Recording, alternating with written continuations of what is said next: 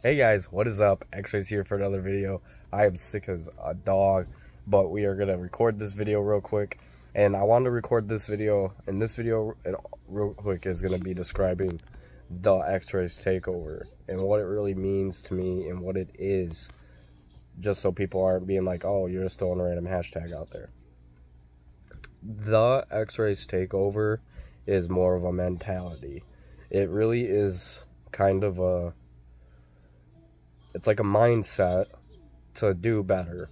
Um, so what I'm doing with the Xrayz takeover is basically improving my health.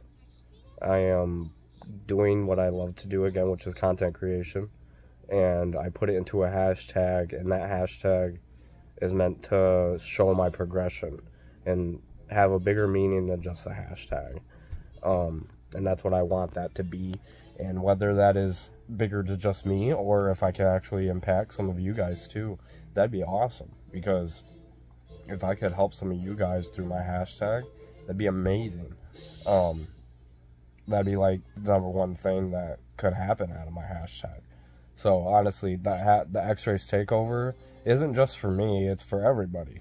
Um, you know, take over that bad self in you take over that negative, bad self in you and turn it into something good. Um, whether you're whipping out videos like I am right now, and yeah, mine aren't the best quality, but I I am gonna push content and I am gonna keep you guys updated, um, because I really want to do YouTube and make it a full time thing. So, anyway, hashtag the Xrayz takeover is a mentality to just do better, be positive do what you got to do to just keep moving forward. Don't be stuck in that past. Just because you haven't been able to do something before doesn't mean you can't do it now.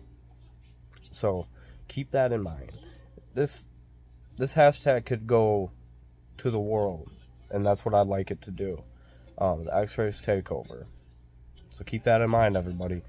The Xrayz takeover is a positive mentality thing. And we really want to i want to push that mentality with everybody. So drop a like on this video if i hopefully helped you understand a little bit better what the Xrayz takeover is to me. Um, it really is something meaningful and i really want to take it to a whole nother level as we move forward here in the youtube career. So honestly i'm the Xrayz. I hope you guys have a great day. Hopefully i'm feeling better. And uh, you guys have a good day